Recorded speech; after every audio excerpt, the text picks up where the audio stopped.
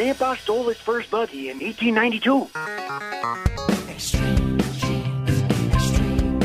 Uh, I met your grandma pig slopping in 46. Oh, every Christmas we'd visit my Uncle Fred in prison.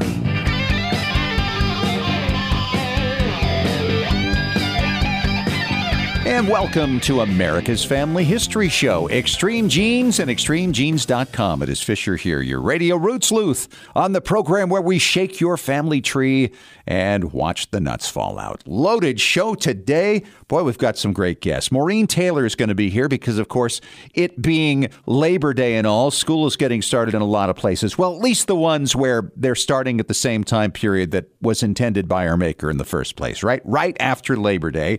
Maureen is uh, going to talk about back to school pictures, the history of some of these things, the earliest ones, and uh, just some great stories. So that's going to be fun coming up with Maureen in about 10 minutes.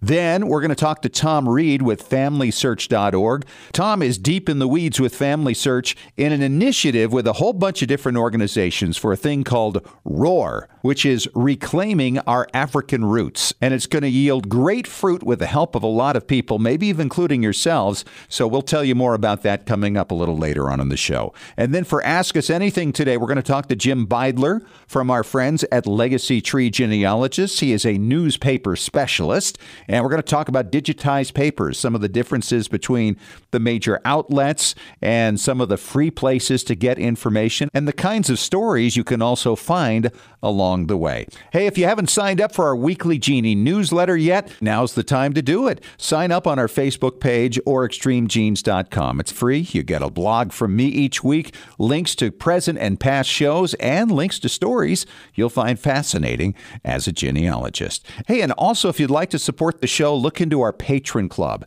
Just go to patreon.com slash extremegenes to sign up. For less than the cost of a nice juicy hamburger each month, you can get early podcast access, bonus podcasts, and all kinds of other benefits. So we would love to have you as part of that.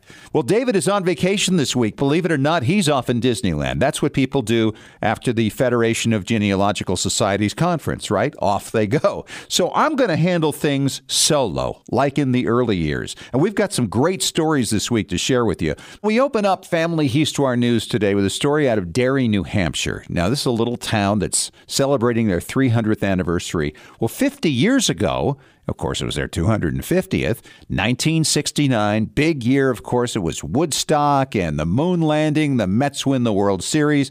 So they decided to put together a time capsule that would be opened 50 years later, 2019, to honor the 300th anniversary and send a letter to the future. And so they stored this capsule in a safe on a shelf in the library there in Derry. So when the 50th anniversary rolled around, the library director there, Kara Potter, figured, okay, it is time for their public reveal. And so they had not too many people show up, you know, some town officials, some local historians. She opened up the capsule. It didn't work on the first try, but uh, once the thing got opened, they found there was nothing in it. So now they're figuring this is kind of a mystery. But here's the thing that's kind of funny somebody actually taped the combination to the back of the safe. So somewhere, maybe in the 1970s, maybe in the 80s, maybe in the 90s, somebody got in there and cleaned the thing out. We may never know what was in it. Well, across the pond in Denmark, in the city of Aarhus, they are celebrating their Viking heritage. Now, this is a town that was actually founded by the Vikings back in the 8th century. And uh, they decided, in honor of all this, they were going to replace the typical guy symbol in the crosswalks with Viking themes. We're talking axe and helmet and the whole deal. This is an idea from a member of the city planning department, and everybody agreed to it. So they changed out the symbols. They cost like $150 each. So if you ever go to Aarhus and you go to cross the sidewalk, you're going to find Vikings telling you it's safe to cross. Well, Smithsonian these days is featuring a story about a woman known as Pauline Cushman. Yes, she was born in 1833 as Harriet Wood, but she wanted to become an actress. So she left her hometown, went to New York City to pursue her dreams, as so many actresses even do to this day, right?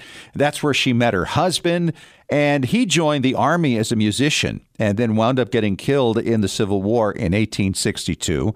She then decided to continue to pursue her career in Louisville, Kentucky, which was a Union controlled area at the time, left her two kids behind with the in laws, and was acting at a place called Woods Theater. And they say she wasn't really a top shelf actress, but she became a spy for the Union Army and became a huge hero of the Union, especially after the war was over, as they celebrated what she did. So there's this new exhibition. It's called The Storied Women of the Civil War Era. And as part of it, you can actually see a photograph of Pauline Cushman in her military uniform, along with 13 other women. So the story goes that Pauline was going to perform this scene in a play called The Seven Sisters. And in this scene, she proposes a toast. Well, there were a couple of rebel officers, a Captain Blincoe, a Colonel Spear, and uh, they offered her a little payoff if she would offer that toast to the Confederacy. So she told this dare to the uh, authorities, the Union authorities, and they said to her, Well, take the bet. Get in with these people and then feed information back to us. So on the night of the show, Pauline raised her glass and yelled out, Here's to Jefferson Davis and the Southern Confederacy. May the South always maintain her honor and her rights. Well, Pauline wound up getting fired. Of course, the South now loved her. Pauline was embraced by the Confederacy and began spying for the Union. Well, in time, she was trying to cross back over into Union territory and was caught with battle plans that she hid in her boots and a Confederate military court sentenced her to die by hanging. Well, the Union Army came in and invaded the area before they could do that, and she was rescued and became this major figure after the Civil War. You can read the entire story. We've linked to it at extremegenes.com. And finally, there's one last little ditty that I think is a lot of fun. You can also find on our website, extremegenes.com, about a Brit who found a ring 670 years old back in 1979. Didn't know what he had, but he does now because he's become more of an expert in it. You got to see the ring and hear what it's worth. Check it out at extremegenes.com. Well, coming up next, we're going to talk to the photo detective, Maureen Taylor, about back to school photos. When did they start? What did they first look like? And where can you find them these days? Lots of info ahead with Maureen Taylor in three minutes on Extreme Genes, America's Family History Show.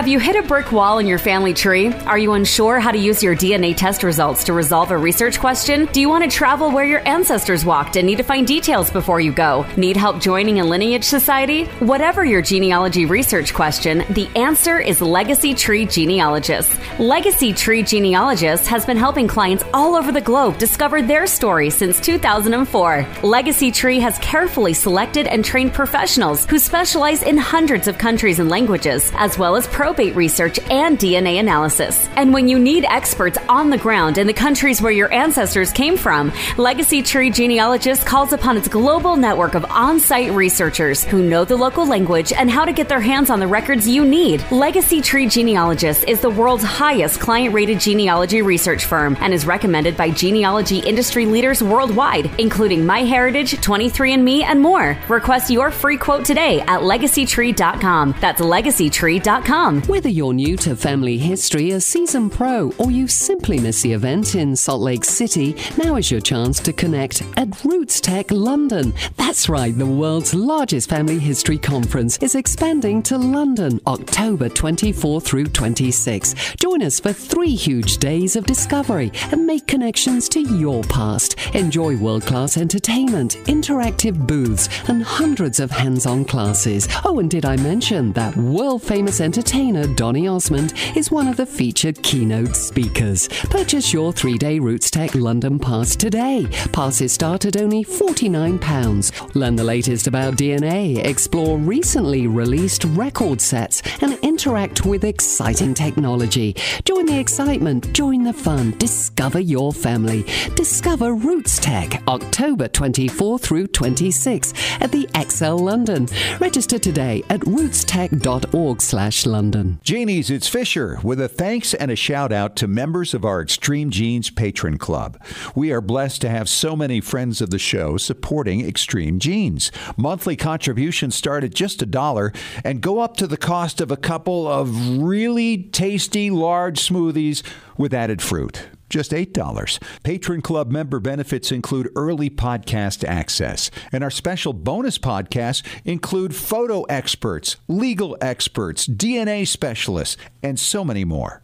You can even get expert advice on specific questions you're struggling with in your family history research. So go to patreon.com slash extreme genes and get signed up. That's patreon.com slash extreme genes. Now, I know those smoothies would taste great great, but they're not nearly as satisfying as discovering your family. The choice is yours. So get signed up right now. We look forward to helping you out. And thanks for supporting Extreme Genes.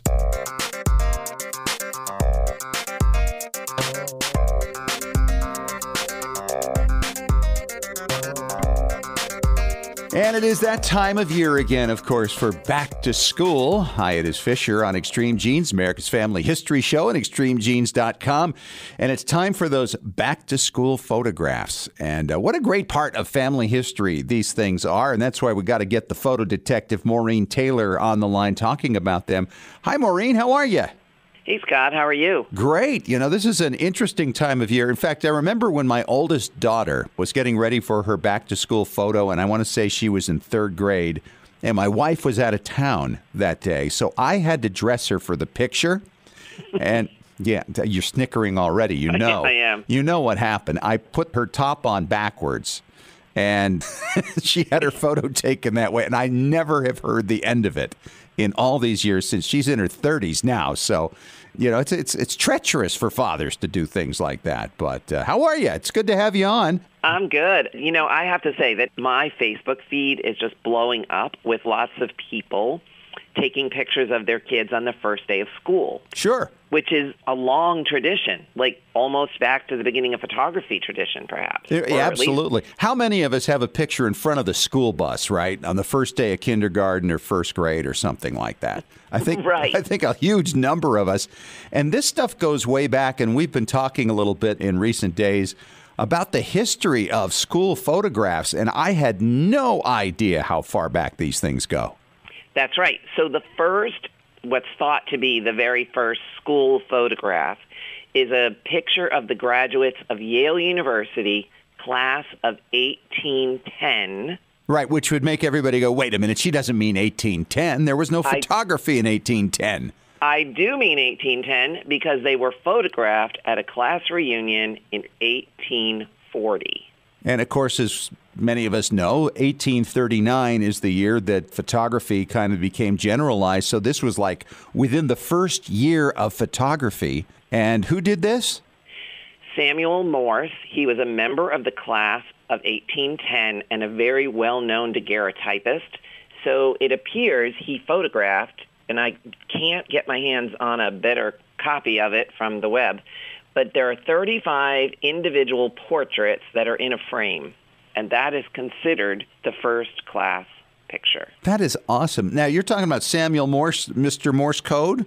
Uh, it might be the same Samuel Morse, but it's Samuel Morse. I know him as a photographer. Okay. All right. Samuel F.B. Morse. Yeah, yes. Well, that's him then. Then yeah. that's him. That's he him. was a a technical, inventive kind of guy. Yes, very much so. But to be taking class pictures in 1840 of the class of 1810 at Yale, that's uh, pretty phenomenal. And hopefully, we can find a copy of that picture and get it up for people to see at extremegenes.com.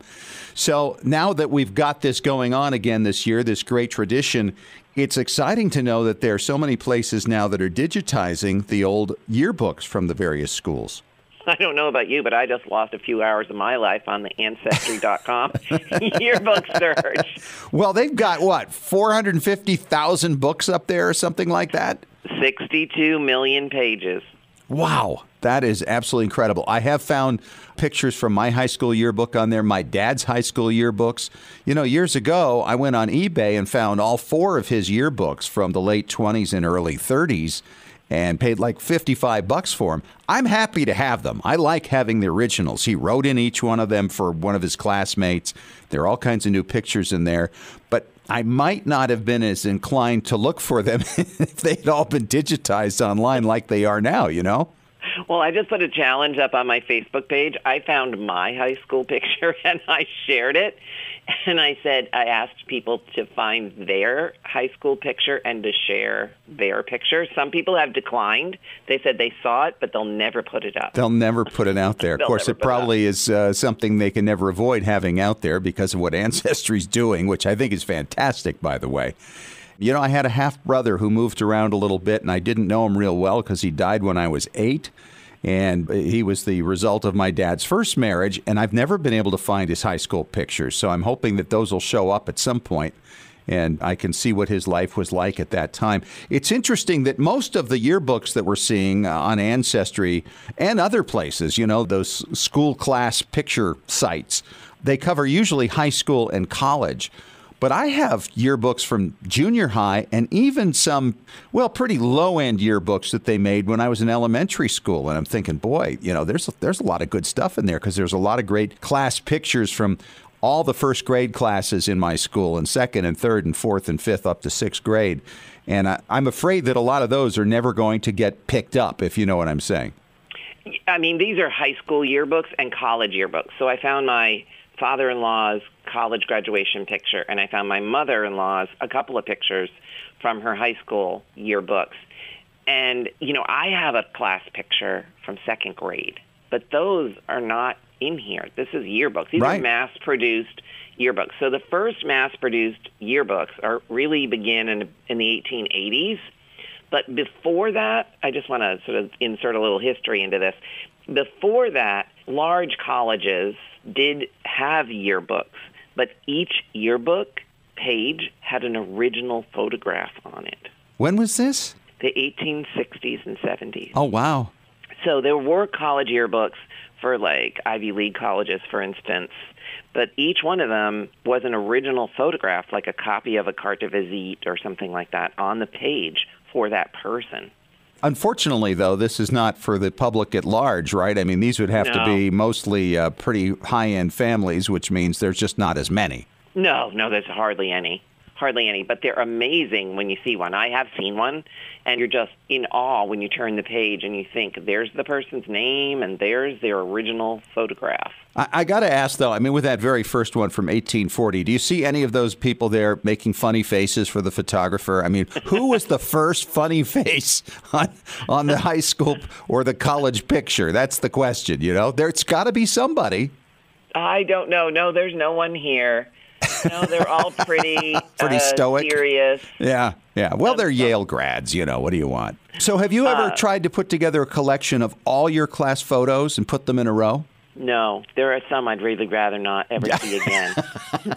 You'd like to bury someplace? Yeah, those, Unfortunately, uh, you can't. Those junior high photos, I would rather not ever see again. Yeah. Well, I think we all have photos like that, right? Oh, I don't like that side of my face. I don't like the way my body looks. I don't like what I'm wearing. Oh, my hair's out of place. I mean, there, there's so many reasons. That would be a fun collection too, wouldn't it? I mean, the worst photos of me ever and put them all in one big folder No, and then burn the folder. no. I mean, we all have awkward years with awkward photos, Sure. for sure. And I actually just a little while ago went through the box of all my kids' photos from all their school, you know, formal Yeah. portraits. And I thought, oh my goodness, I haven't done anything with those yet. You know, we forget about the modern photos where I'm so focused on the old stuff, I forget about Yeah. the new stuff. Don't you Hold think there, that there is a point in your life where you have to pivot and you go, okay, I've spent so many years on the old stuff, and am I forgetting not only what I've got to do with my kids' things to make sure that they can access it and hmm. enjoy it as much as they can, but also start putting my story together? Our own stories, our own histories, and our own photographs so that these things make sense to people years later. So, what do you think? Are yearbooks going to eventually be strictly online things, or has that already begun? That I do not know. I do not have, uh, you know, my children are older, so they're out of school. But my daughter did not have a yearbook when she graduated from college. Why? There were no yearbooks.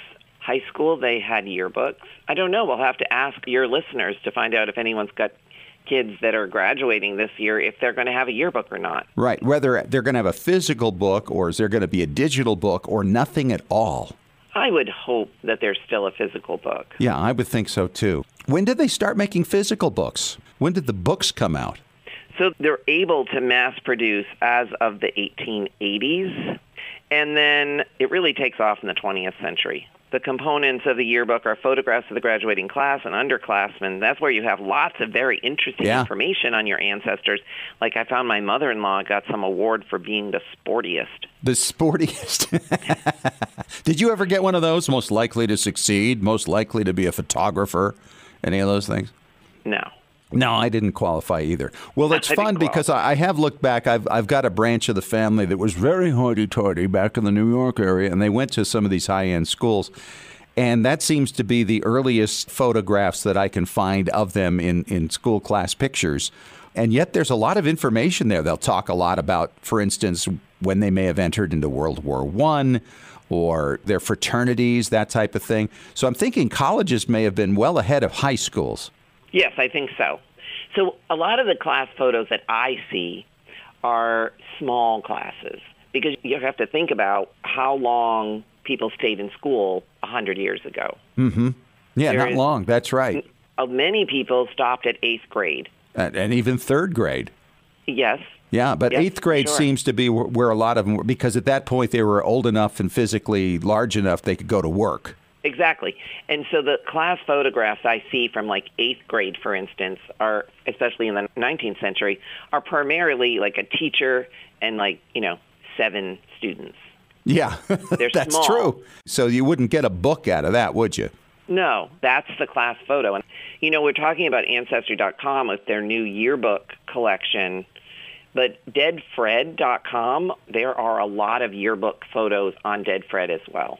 That's a great tip. She is the photo detective. She's Maureen Taylor. You can follow her at maureentaylor.com. And uh, Maureen, thanks so much for coming on and talking about it because it's that time of year. We just got to make sure everybody gets the clothes on the right way as they dress the kids up. And coming up next in five minutes, I'm going to talk to Thom Reed from FamilySearch.org, which has created a new initiative for African American research. You're going to want to hear what he has to say coming up next on Extreme Genes, America's Family History Show.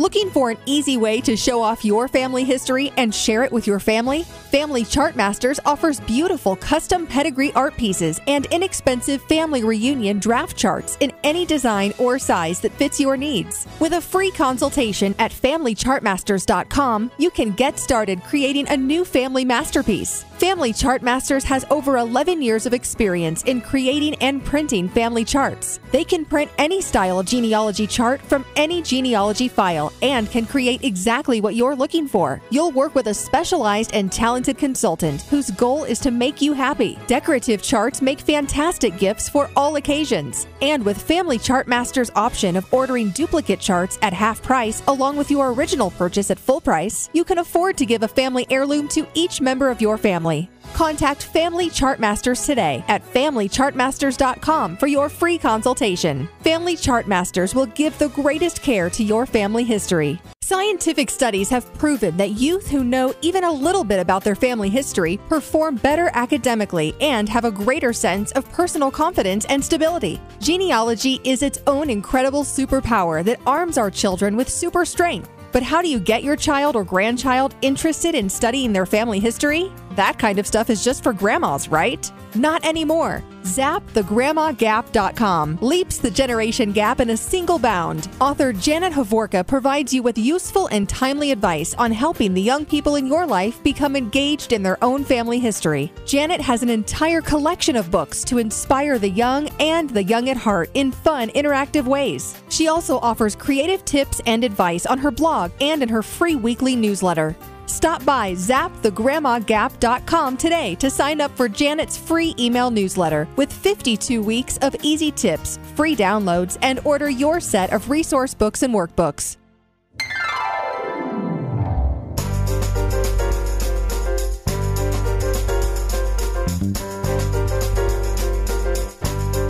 And we are back at it on Extreme Genes, America's Family History Show, and extremegenes.com. And I'm uh, very excited to have on the show today, once again, my good friend Thom Reed with Family Search International. And uh, Tom, welcome back to the show. You've got some big stuff going on. You just announced at the FGS conference in Washington, D.C. recently. Tell us about ROAR, Reclaiming Our African Roots. Well, thank you for having me back. First of all, this is good, and, and I'm, I'm glad your ears were burning after that announcement we made at FGS. Reclaiming Our African Roots, or ROAR, as we love that acronym, is all about helping people of African descent more easily discover their families and connect with their homeland. And we're doing this in partnership with various organizations around the world folks like enslaved.org or the International African American Museum in Charleston, South Carolina, or the National Archives in London. We're all looking at people of African descent and how they've been able to trace their families and what can we do collaboratively to improve that experience and make it so that individuals will be able to go back as far as they can whether they live on the continent of Africa or of African descent here in the United States or in Brazil or in the Caribbean, that there'll be some way for them to know their own heritage and to have a link back to their homeland. This is fantastic. And when you consider the resources of Family Search and all these other places that you're talking about, I mean, you've got to have millions of records that are going to become available. What's your timeline for putting this together or for something to happen that can give African American researchers a better experience? Yeah, we really have our eye kind of set with this relationship with the International African American Museum. We're trying to tie kind of our efforts to what's going to happen at their museum when they open in probably the fall of 2021. So we're, we've already started in this effort, and so we're calling it kind of three-year focus. And in that three years, we're focused on, from a family search standpoint and our contribution to this collaborative effort, we're looking at, you know, publishing an additional 28 million records for African Americans. You know, wow. That's, that's 10 times the number of records that we did with the Freedmen's Bureau project specifically in various collections. We're looking at about 48 million records in Brazil some that have never been, you know, uh, uh, explored before and never been accessible before in any way in Brazil. We're trying to do that. And then also in Africa, where, where we're collecting oral histories in 15 different nations. By that time, we'll probably be somewhere around the 200 million names collected from our genealogies and oral histories project on the continent of Africa. If you add all those numbers up, I think 200 plus 48, you know, probably 275 wow. million records, names of people more easily searchable through family search as a part of reclaiming our African roots. Now, when we talk about dealing with records of enslaved people, I know you and I were talking a little off the air. Would you describe exactly how we might see this eventually? I mean, in terms of finding a name from the pre 1860 era tied to the enslaver family? Yeah, in slavery and slave ancestral research, what we teach is really you're going to get to a point prior to 1870 where we traditionally call the brick wall, where you're going to need to look at potential enslaved enslaver relationships. So if you're African American and you're researching was your family member, your ancestor connected to a specific slaveholder in a similar location. And by connecting to that slaveholder, it opens up a lot of times records that have information on enslaved people that, that we've never been able to see before. And so Family Search is looking at, okay, so how do we treat that on our actual website? What do we do to document the difference between a father and a son and a slaveholder and an enslaved person? Right? Mm-hmm. We, we don't have the answer for that quite yet, but that's where we're going because we know that's very critical and helpful for anyone who's trying to break through that 1870 brick wall to be able to connect with the slaveholder and follow kind of that slaveholder to see even maybe where they, for whatever reason, where they bought their enslaved individuals when they first arrived in the United States. And those types of connections can, in some, maybe sometimes improbable ways, connect people back to Africa and where those voyages came from Africa and landed at different places in the United States. Wow. So we're just working on how to do that. Now that's that's you know probably a corner case and not going to happen for lots of people, but we want to improve the odds through reclaiming our African yeah, roots. right. And there's going to be a certain amount of uh, synergy, I think, that comes from that, as little bits are gathered here and there until eventually things like this become more common, don't you think? Yeah, there's organizations that are out there that are trying to do it that we're trying to work with. I mentioned before, enslaved.org is a consortium based out of Michigan State University where they're looking at databases of enslaved people that reside at different universities or at different institutions and how can people access all that information in one hub. And that's what we would love to be from Family Search is a one-stop shop, if you will, for people who are doing enslaved ancestral research. And so that's why we're partnering with the folks at Enslaved to make these discoveries more easily available because there's not just us from a FamilySearch standpoint, but there's many in the genealogical community and the historical community who have been yearning for some collective effort to bring all this together. Because that's the only way that we're really going to tackle this issue for, for you know African Americans and people of African descent in doing this research is if we all work together. Sure. And that's why we formed this kind of coalition with Reclaiming Our African Roots. Well, you know, I recently made a discovery on FamilySearch going to records and then putting in the name of the father and the mother only because I didn't know really what the name of the person was I was looking for. I was looking for siblings to my direct ancestor, and that pulled it up. Do you envision perhaps the day where, just like putting up uh, the names of parents, if you put in the name of the enslaving family, that you might be able to pull up your people? Yes, we hope to get to that point. It's again, it's it's horrible to think of, though. I mean, honestly, to think that you would have to search for a slaveholder to find your enslaved people, but we know that that's critical to being able for Sure. you know individuals to, to discover their ancestors, and so we hope to accommodate that in some way. You know, currently we allow you to search race on individual collections where race has been identified. Things like federal censuses, and in pretty much every federal census since 1870, we've had race listed of the people there, and so it makes it easier when you're doing your search to look at the black John Lewis's versus the white John Lewis's and things like that. Mm-hmm. But we hope to be able to, to accommodate and make some changes to, to FamilySearch.org that will specifically benefit people of African descent, whether it's you know the oral histories that we're collecting that are in kind of our genealogies collection that don't necessarily come up as searchable records right now or aren't connected to the tree. We're working on what do we need to do to make that happen so that if you're Nigerian and you're living in, you know, France and you want to search your family history, you'll be able to actually connect to where your people came from and see the whole history going back and find that all on familysearch.org. Wow. Those are the efforts that, that we'll make in the next three years through ROAR. And so one of the things we're doing with ROAR and what I announced actually at FGS was this idea of join the cause.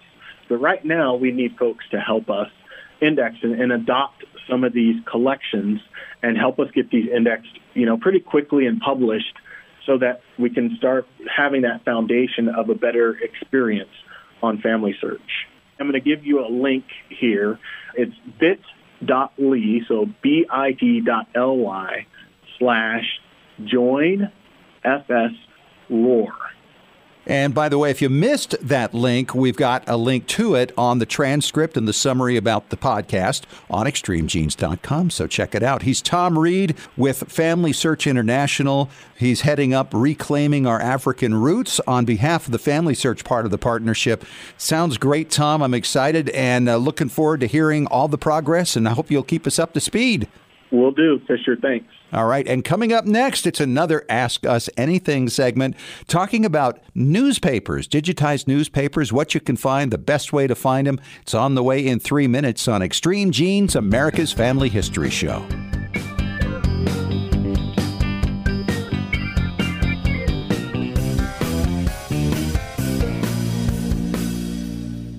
Whether you're new to family history, a seasoned pro, or you simply miss the event in Salt Lake City, now is your chance to connect at RootsTech London. That's right, the world's largest family history conference is expanding to London, October 24 through 26. Join us for three huge days of discovery and make connections to your past. Enjoy world class entertainment, interactive booths, and hundreds of hands on classes. Oh, and did I mention that world famous entertainer Donny Osmond is one of the featured keynote speakers. Purchase your three day RootsTech London pass today. Passes start at only £49. Learn the latest about DNA, explore recently released record sets, and interact with exciting technology. Join the excitement, join the fun, discover your family.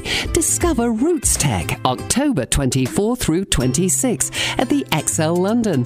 Register today at rootstech.org Genies, it's Fisher with a thanks and a shout out to members of our Extreme Genes Patron Club.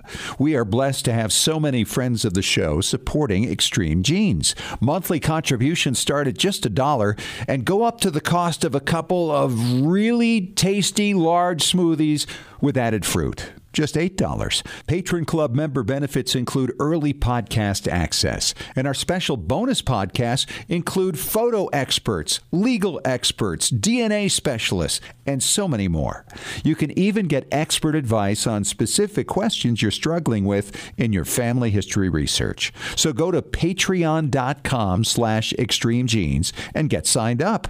That's patreon.com slash extremegenes. Now, I know those smoothies would taste great, but they're not nearly as satisfying as discovering your family. The choice is yours. So get signed up right now. We look forward to helping you out. And thanks for supporting Extreme Genes. Have you hit a brick wall in your family tree? Are you unsure how to use your DNA test results to resolve a research question? Do you want to travel where your ancestors walked and need to find details before you go? Need help joining a lineage society? Whatever your genealogy research question, the answer is Legacy Tree Genealogists. Legacy Tree Genealogists has been helping clients all over the globe discover their story since 2004. Legacy Tree has carefully selected and trained professionals who specialize in hundreds of countries and languages, as well as probate research and DNA analysis. And when you need experts on the ground in the countries where your ancestors came from, Legacy Tree Genealogist calls upon its global network of on site researchers who know the local language and how to get their hands on the records you need. Legacy Tree Genealogist is the world's highest client rated genealogy research firm and is recommended by genealogy industry leaders worldwide, including MyHeritage, 23andMe, and more. Request your free quote today at Legacy legacytree.com. That's legacytree.com.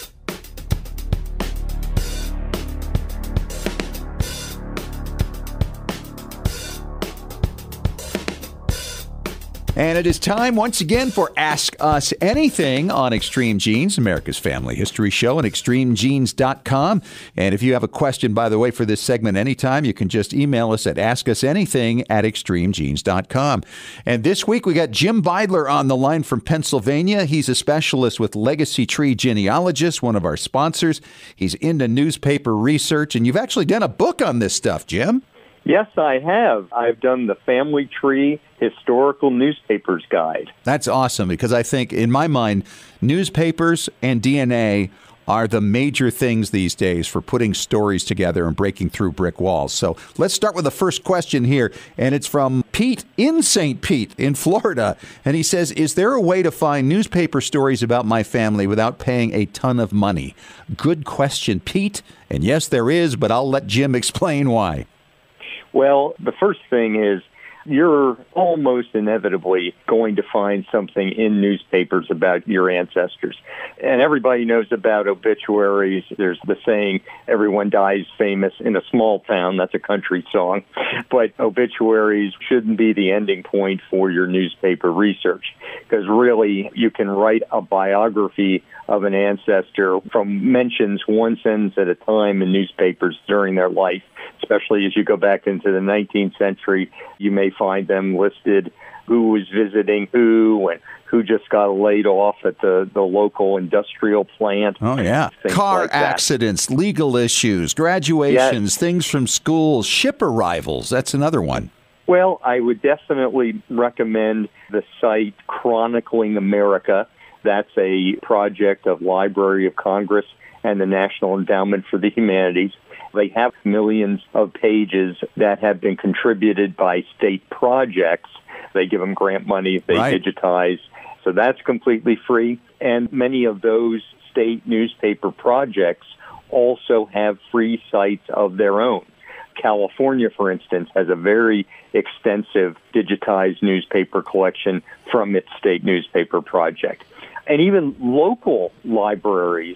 They usually will just do a historical local newspaper that they may have had on microfilm, or maybe they even had the original bound print copies that they've converted to digital media.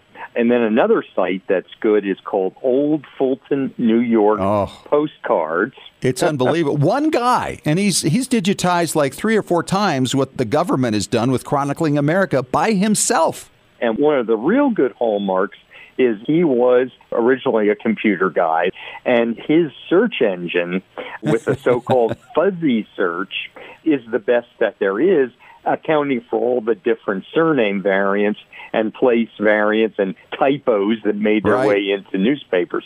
And of course, you can look up all these things just by Googling, for instance, Idaho digitized newspapers, California digitized newspapers, and it'll bring you up all kinds of links. Many of them, like you say, go back to chronicling America. But there are lots of free sites. And of course, if you don't find what you're looking for there, there are all the paid ones, and those are incredible as well. And they're, they're continuing to grow. I still can't believe, Jim, how many newspapers are still not digitized, including several from my little hometown in Connecticut. Yeah, there are trillions of pages of newspapers that were published historically. And thank goodness for the predecessor to Chronicling America, which was the U.S. newspaper program that started in the 80s, microfilming these newspapers that were literally crumbling Right. from their acid content.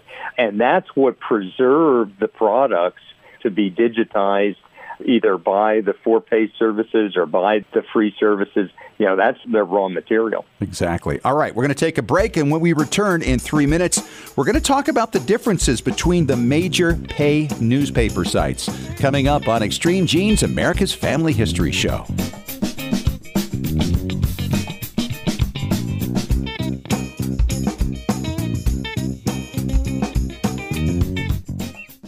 For an easy way to show off your family history and share it with your family? Family Chartmasters offers beautiful custom pedigree art pieces and inexpensive family reunion draft charts in any design or size that fits your needs. With a free consultation at FamilyChartmasters.com, you can get started creating a new family masterpiece. Family Chartmasters has over 11 years of experience in creating and printing family charts. They can print any style genealogy chart from any genealogy file and can create exactly what you're looking for. You'll work with a specialized and talented consultant whose goal is to make you happy. Decorative charts make fantastic gifts for all occasions. And with Family Chartmasters option of ordering duplicate charts at half price along with your original purchase at full price, you can afford to give a family heirloom to each member of your family. Contact Family Chartmasters today at FamilyChartmasters.com for your free consultation. Family Chartmasters will give the greatest care to your family history. When was the last time you heard your grandmother's voice or saw your family enjoying life back in the 1950s or 60s? If the reason is you haven't known what to do with your old recordings, videos, and films, here's your answer. The Multimedia Center in Salt Lake City. We brought in a video project to the Multimedia Center, and overnight they duplicated it to DVD so we could meet our deadline. The Multimedia Center, 2870 East, 3300 South, Salt Lake City. Open Monday through Friday, 10 to 6. Call 801 483 1717 or go to transferduplication.com. Genies, it's Fisher with exciting news. The Weekly Genie, the official newsletter of Extreme Genes, is here. It's your Monday morning briefing on what's happening in the world of genealogy and family history and on Extreme Genes. Get all the details of jaw dropping stories of discovery and keep up with the latest techniques in family history research. Get to know more about your favorite Extreme Genes personalities, and it's free. Sign up for the Weekly Genie now at extremegenes.com or the Extreme Genes Facebook page. And when you do, you'll receive David Allen Lambert's top 10 tips for beginning genealogists from the chief genealogist of the New England Historic Genealogical Society. Sign up today for the Weekly Genie.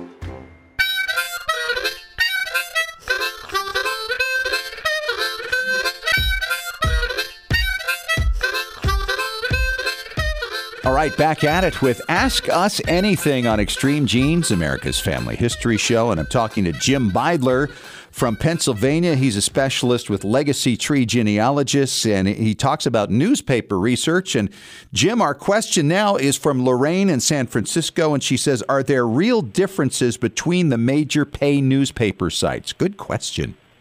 Of course, absolutely there are. And this is a question that a lot of people ask because, you know, you don't want to buy every subscription willy nilly. Before we get to that for just a second, and this helps you decide which one, on the Chronicling America site, there is also what they call the U.S. newspaper directory. It's kind of a master listing yeah. of all the newspapers in America.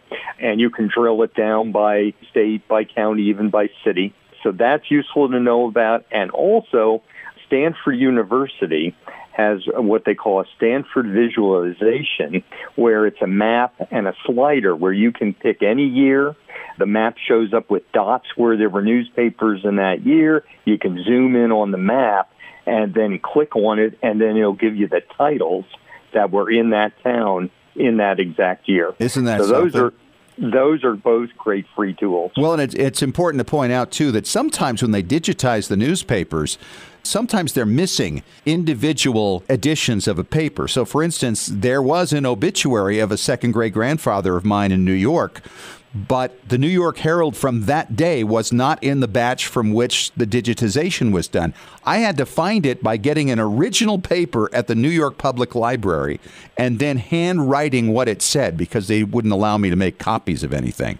But oh man. At least Yeah. you can get them, you know, and, and you know they're there, and that's where the benefit of this index with Chronicling America comes from. All right, back to Lorraine's question about the major Yes. differences, real differences between the major pay newspaper sites. Yes. Well, let's start with newspapers.com. And it has a very good selection of newspapers. It has good tools. If you're collaborating with one or more other people, you can set things up that you can clip an article electronically and then send that to everybody Yes. in your group. Okay. And which of these major sites has the most newspaper pages?